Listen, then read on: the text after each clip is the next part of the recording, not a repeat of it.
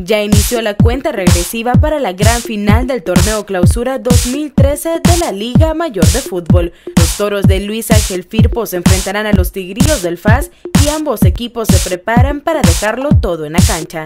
Ni la lluvia detuvo el entreno de los Pamperos este 22 de mayo, en donde practicaron parte del juego táctico con el que atacarán a los tigrillos. ¿Cómo se le gana a FAS en una final? Mucho orden, sobre todo mantener la calma y saber que una pelota o una jugada puede definirte un partido. Creo que nadie se va a guardar nada, creo que va a ser un partido muy intenso, eh, con expectativas, pero igual nosotros vamos a hacer lo nuestro y esperamos sacar la victoria y ser campeón. Como toda una final hay que vivirla con, con gran intensidad, de la mejor manera. Contento de estar en esta instancia, agradecido con Dios por la oportunidad que me da de disputar una nueva final y, y ahora hay que trabajar, hay que trabajar mucho para, para lograr ese objetivo que es ganarlo.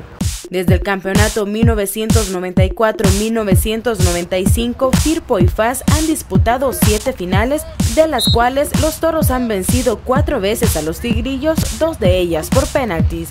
La final del Clausura 2013 se realizará el próximo domingo 26 de mayo en el Estadio Cuscatlán.